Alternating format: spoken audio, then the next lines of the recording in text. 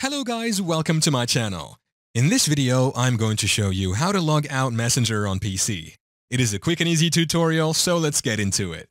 I am going to use laptop for this tutorial, but you can do the same using your PC. They are just one and the same thing anyway.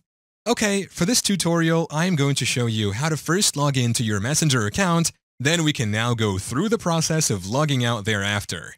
So stay tuned till the end of the video to learn how to do so. First, you will have to go into your favorite browser. I will use Google Chrome. Once in, type messenger.com here, then search for it. If you aren't going to be logged in automatically by Google, go ahead and feed in your Facebook account details. This will then bring you to this main page of Messenger app.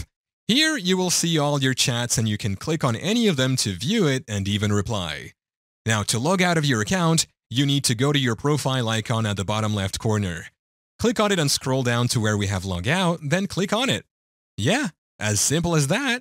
Thank you for watching. If this video was helpful, please leave a like and subscribe to my channel for more videos like this. And click on that notification bell to never miss an update.